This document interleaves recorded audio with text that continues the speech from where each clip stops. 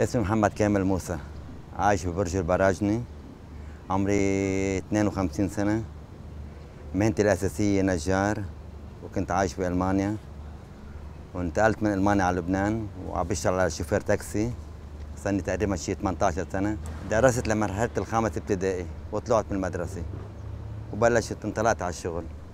كان عمري تقريبا شي 11 سنة.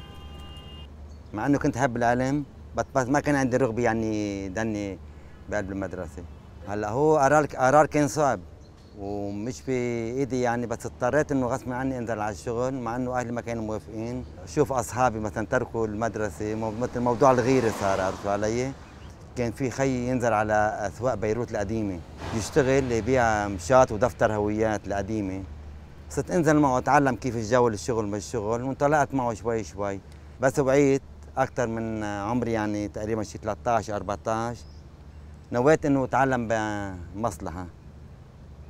فت على نجاره بس أنا حبيت إنه أنا بدي أكون مصلحة وأفتح معها مؤسسة بإيدي لحتى يصير عندي مثلا اسم وشهرة إنه والله هذا المعلم فلان وهذا النجار فلان عرفت شو علي؟ هيك صار عندي اسم بالمصلحة. ما شعرت بصعوبات ولا شيء الحمد لله بنيت أنا وأخواتي محل ومؤسسة وكل شيء بس صار ظروف البرد حرب واضطريت انه اسافر. يعني صرنا كأنه عايشين بغابة. هذا مثلا بيقتل الثاني وهذا حرب هون يوم قذيفة هون هذا الناس يوم مات هون. آه كتبت كتابي على خطيبتي واتكلت على ورحت على ألمانيا بالبر. عشت تقريبا شي 13 سنة بألمانيا. وجاني الله تعاملني ثلاث بنات. بس وعي اولادي شوي صغيرة. اضطريت إنه قلت بدي أرجع على بلدي.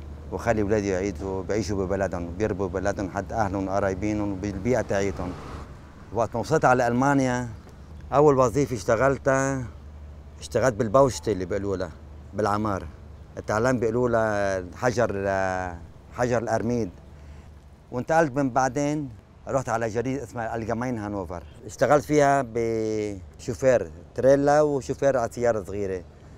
وكثير كثير الحمد لله انبسطت هونيك أنا ما كنت مفكر موضوع الجنسيه مفكر موضوع إنه إمتى ترجع بلدي تروق وارجع أعيش حياتي ببلدي وكمل حياتي مثل مثل العالم اللي عايشين هون.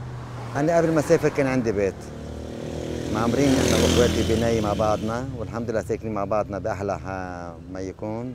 رجعت اشتغلت بنجار شوي هون بلبنان فترة معينة.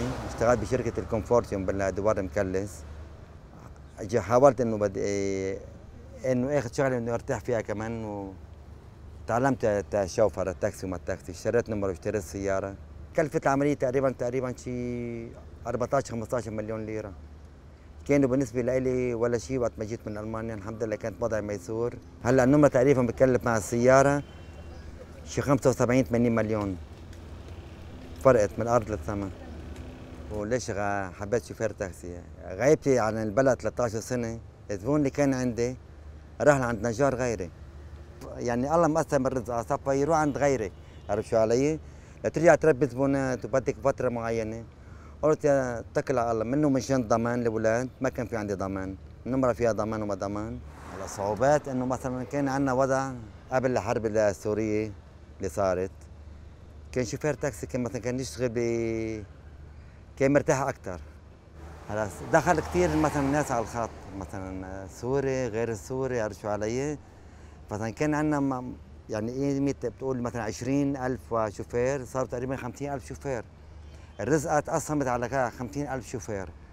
يعني فرق ما تكون مثلا البادجت تقولك مثلا 2500 3000 دولار صار تقريبا هلا شيء 1800 2000 عرفت شو علي؟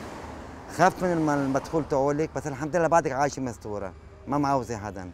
شخصيا أنا بتأثر علي فرق ما اكون مثلا أشتغل سبع ساعات ثمان ساعات.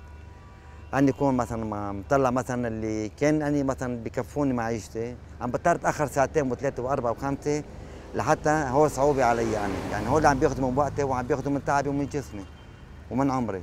هلأ مثلا الوضع اللي عايشين فيه بدنا يتأقلم فيه الواحد. أيام مثلا بتمر عليه واحد أيام حلوة.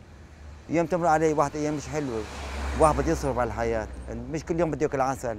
يوم عسل يوم هيك الواحد عرفت علي؟